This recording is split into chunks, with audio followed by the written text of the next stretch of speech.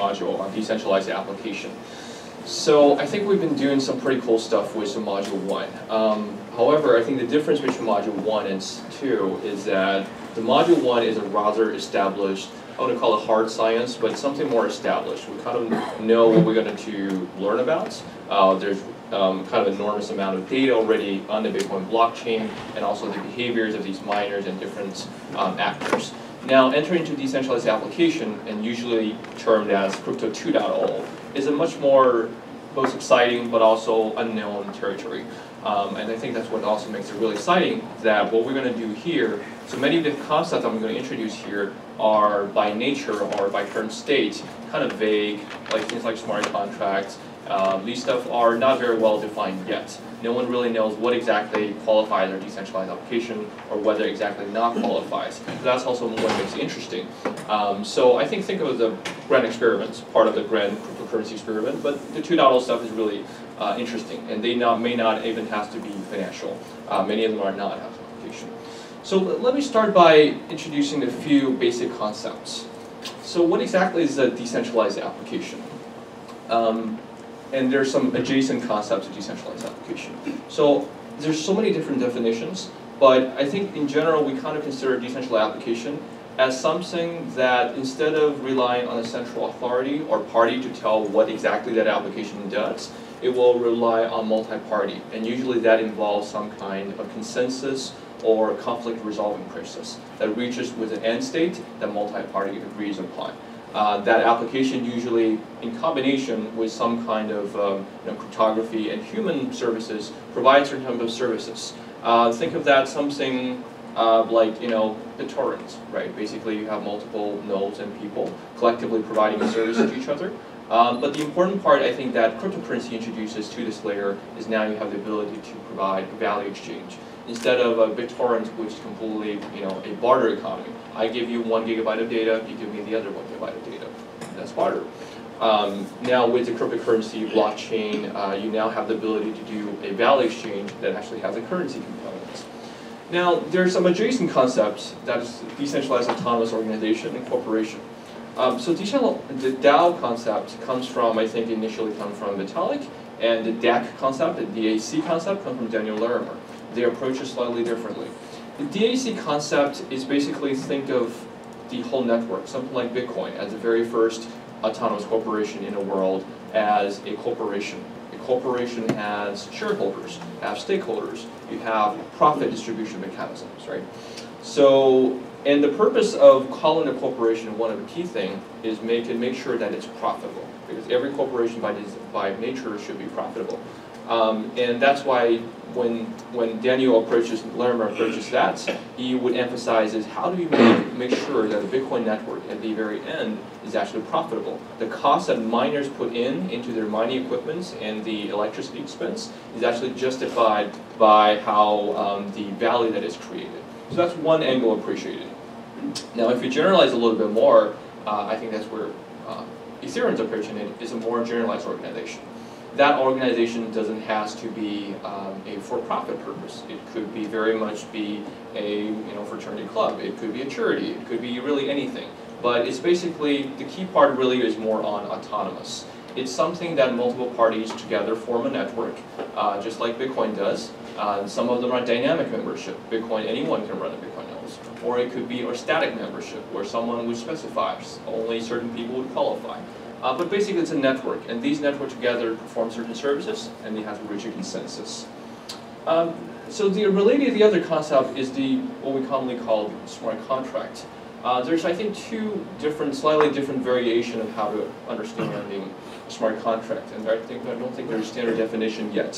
One is secure multi-party computation. So that is a much more technical way of understanding it.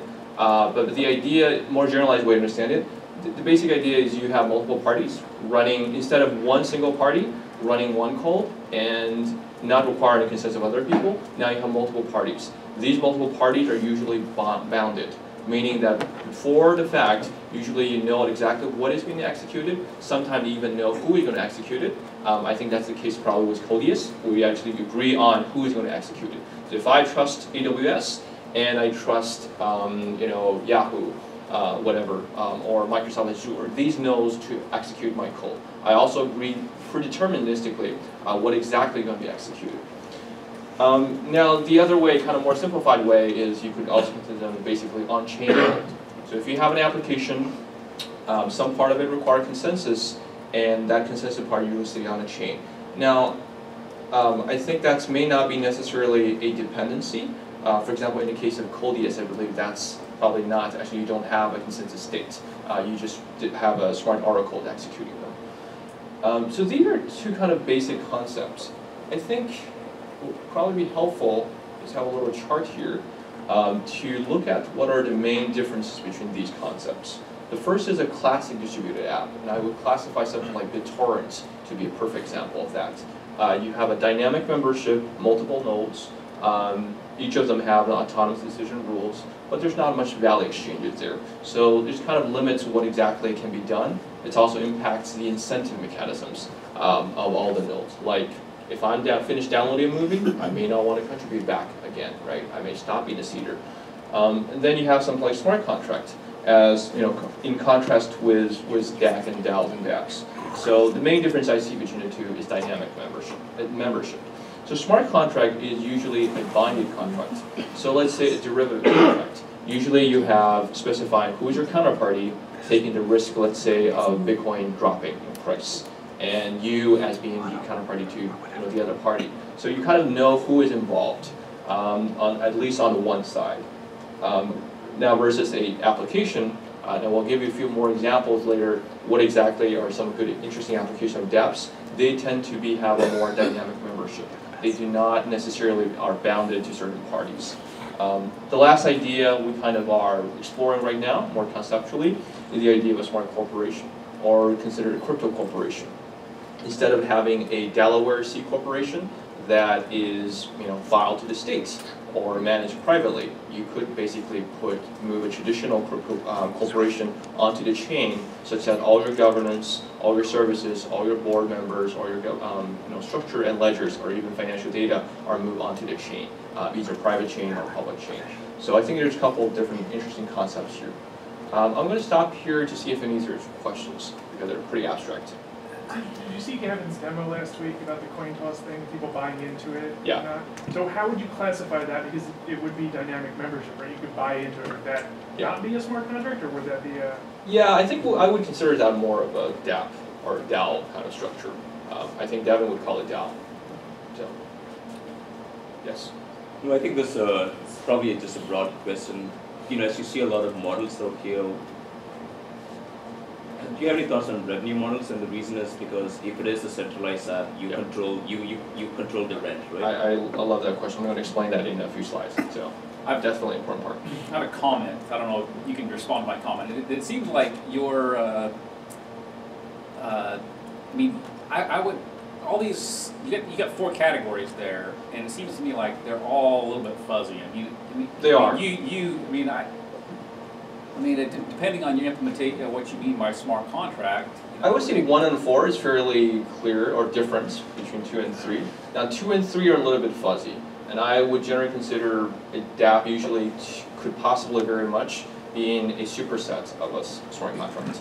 So within a complicated DApp, let's say a casino, that Gavin's favorite example, you'd likely have multiple smart contracts, but you may also have some code that is not necessarily run on chain, right? So you have the smart contract, and I'll probably, there's a graph that actually illustrates that a little bit better. So uh, bear with me. Yes. Any other questions? What is the purpose of the smart corporation, like, what, like, what are the use cases where it kind of? Sorry, can you speak a little bit? What, what are the use cases where the smart corporation may make sense? Um, so, repeat the so yes, the question is when exactly does smart a smart corporation makes sense, right? So I don't have slides for smart corporation, but what we're exploring basically is, I'm not sure how many of you have run a startup or involved in a startup incorporation or funding process, any of you? All right, cool, pretty good. So any of you involved in that knows how painful it is to doing some basic like cap table stuff, right? Cap table is basically just a Word document, it's literally a Word document that contain who are the shareholders.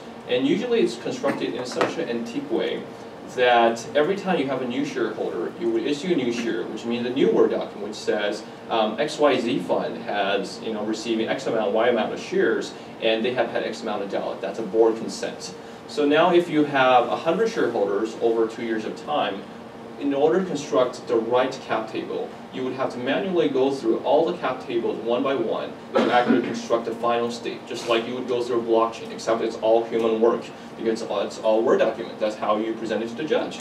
So that's a super um, kind of outdated system. How do you move something like that into on-chain? such that when a new, the 101 shareholder comes in and say, if I put in a million dollars, do I really get 2% of your company, right? He can easily verify cryptographically so long as your company, and that's something I'm excited about what James is doing, because if we can combine that, have a legal binding of the smart contract on chain data into the legal world, now someone can enter confidently and say, I know exactly what the dilution terms are, what exactly percentage am I getting, uh, and what's the impact to the rest of shareholders. So I think that's kind of what I consider smart, con smart corporation. But that's just one part of it. You can do way more with that. that. You could also have your financial data um, privately, or semi-privately, or publicly, um, and move these data onto the chain. So one of the really interesting example uh, that uh, James was mentioning, uh, we had a kind of a conference in MIT, and we were talking about, uh, I think there was one presentation from Subledger. So the idea of Subledger is having, moving your accounting um, information all on chain. So instead of having, you know, moving your double entry accounting system onto the chain, instead of, uh, you know, just having database operation that is not signed, not secured, easily manipulated, you completely move to the blockchain paradigm. The blockchain paradigm, you know, basically is everything is signed, so you know exactly who created that entry. Uh, it is also uh, cryptographically secured. Um, it's kind of hard to manipulate. Um, so you get all these benefits. So I, I would consider that another use case of part of a, you know, comprehensive smart corporation. Which makes you a lot easier for your auditors, for IRS, uh, if you're actually paying taxes, for, you know, for um, funding. Like if your bank, instead of trusting your financial statement of last year, they could just look at a blockchain statement and then, and the, and the cool thing about that is you could even do some kind of zero knowledge. So you, we may not even necessarily exposing your corporate data, but we still trust you that some of your statements are true. Like you have 10,000 transactions or more than 10,000 transactions, but you don't exactly know how many transactions actually happens. A lot of cool things you can do around that. All right, so moving on a little bit. Um, so I think in general, it's conceptually, we kind of draw three circles, and that hopefully explains what are some of the interesting use cases around distributed applications. One is the general larger trend of peer-to-peer -peer economy. Um, everyone, I guess, uses Uber, Lyft to some, some points. So I think that's an easier to understand. Um, basically, the peer-to-peer -peer economy is, um, I think, two things. One is making traditional intermediary uh, less important and more fluid, right? You move the traditional taxi companies, which is a crucial component uh, into something that is more fluid, like Uber. You can have multiple Ubers, um, but uh, the ultimate state is they could transact uh, directly with the software without even the Uber as a platform. But the idea is really to reducing transaction costs and the trust level. The other big circle is around blockchain. Blockchain is, I think, uh, really a term for consensus uh, there is some shared state. And that's what typically a intermediary platform does. They keep a central state such that the different transacting parties can trust upon. Now you have blockchain, you don't necessarily need that. The third big part circle is crypto economics. Crypto economics, I think, is um, uh, some of you were in the conference, uh, was I think a domain that is dedicated to uh, a combination intersection of cryptography, but more on the economics, I would personally consider uh, that basically you now have a mechanism to incentivize all the parties to act honestly and providing the value to the rest of them. So I think when we think about DAP, I found that to be a helpful mental framework to see what are the applicants created. Usually starting with a point is something that has to do with collaborative economy. Uh, sharing storage space, sharing computing power, these are simple examples, uh, or sharing rides, uh, more human services, uh, etc. And then you look at the two technology boxes and look at how could these technologies help us construct an like that that were previously not possible. So, um, so one other thing I want to talk about briefly, and we'll probably stop on the conceptual part, is the I think a shift that I kind of uh, seen uh, with different projects emerging. Um, in the previous world, we mostly have a very server clients architecture where each of the clients would visit a website, each of the company, Amazon.com, hosts their own data center or some server, group of servers. Uh, now we are moving into a cloud world in the last 10 years. Um, in the cloud world, unfortunately, I think most of the cloud, I would consider them a private cloud. Uh, 30% of the uh, traffic is from AWS. And therefore, when you hit some Instagram.com, you're really hitting one part of the you know, AWS cloud. It's a very private cloud that is controlled uh, jointly by the development company, but also more by AWS ultimately, right? You rely on that. Uh, I think what we're going to see in the future, and that's already happening, is a more decentralized internet in a couple different, two different dimensions. One, I think architecturally, we're more moving into peer-to-peer nodes, uh, where each of the, all of the data, some project like ZeroNet is doing that, I think uh, Ethereum is also doing that in some degree, uh, basically moving all these data to be hosted, um, and also IPFS actually, uh, is uh, uh, moving these data, website data, into your nodes. So when you hit Amazon.com, you may not even realize that actually these data are hosted by your neighbors, and they become a natural CDN, since that are close to you, physically close to you. On the other hand, that's, a, that's the architectural part. But I think a more important paradigm shift is really around where does, who controls these data. Um, and that's, I think, where the blockchain plays a huge role there. Um, the blockchain creates a common pool, storage of information that is verified and trustworthy, such that previously when a protocol has to reside on certain um, developer uh, producers, now these protocols, especially things like identities, or a common protocol like you know AIM, like Jabber, could just move into the blockchain, such that when developers create new applications, they do not, the, the protocol can live longer beyond these developers themselves. So even if that startup who created the XMPP protocol, you know, is gone, the company's gone, that's totally fine because all the data and all the protocol structure uh, lives forever, you know, on the blockchain. So on the blockchain lives. So that's, I think, a really important uh, shift. Is you will see a fatter um, middle layer that kind of captures a really important uh, data there. So that's it. A um, couple of examples of what can dApps do. I think this is a very uh, early point, so just is what I've been seeing so far. Since like uh, on the computing side, very easy to understand. You have immutable storage, um, computation, bandwidth, Internet of Things. Um, um, in, in, the middle, you have things like resource distribution, and that's a big part of it. Because whenever you think about peer-to-peer -peer economy, it usually has to do something with the transaction, nature of a transaction. Um, so therefore, you have a lot of marketplace type of things. Um, you have uh, uh, like insurance, decentralized exchange of you know stocks, uh, lottery, prediction markets, lending, derivatives, digital properties, etc., etc. Uh, you also have things like um, human services, exchange of human services. The challenge of human services, unfortunately, I think so far, is the proof of certain cryptography to prove. How do you prove someone actually comes to your home and clean it, right? That's a much harder problem than hashing. So that's the kind of challenge you run into when you have human services. But I think we'll see uh, with IoT, I think combination IoT, you will solve some of that problem as well.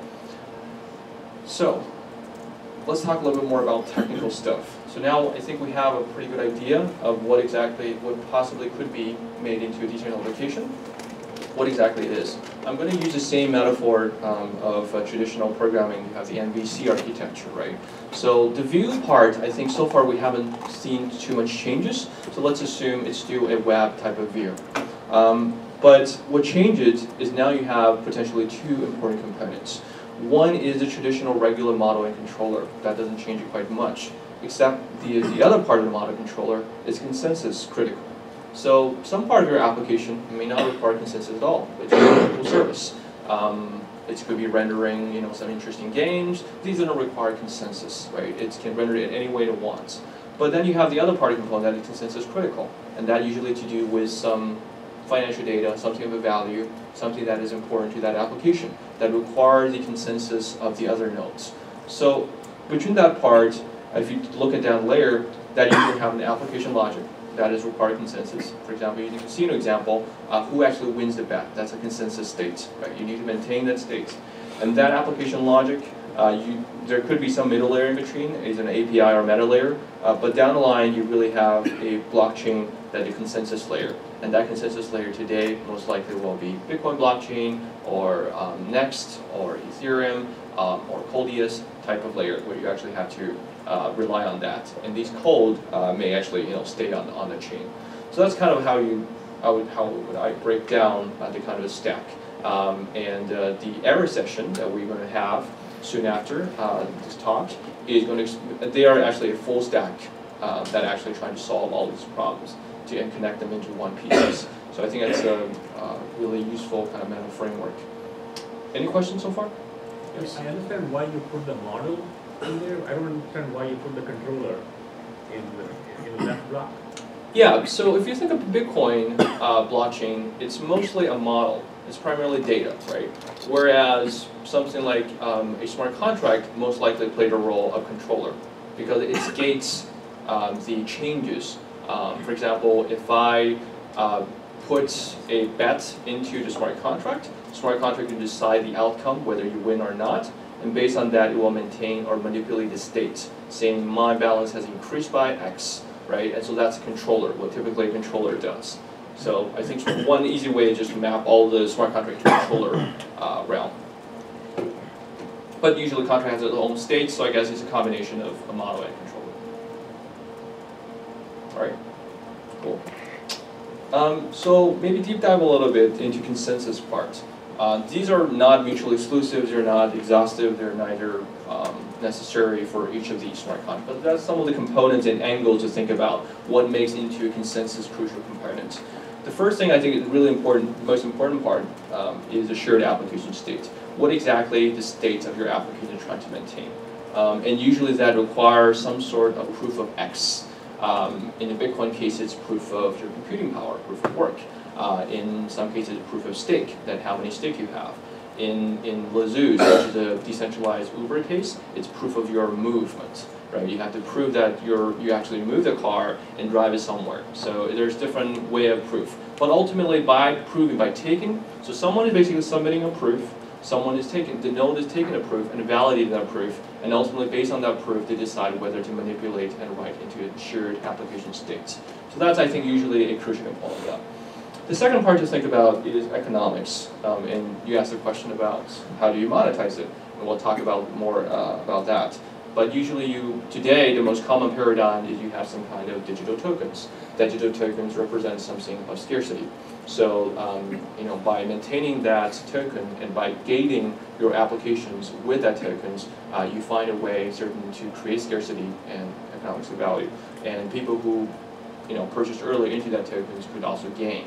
And that could also be developers themselves who pre-mine these tokens.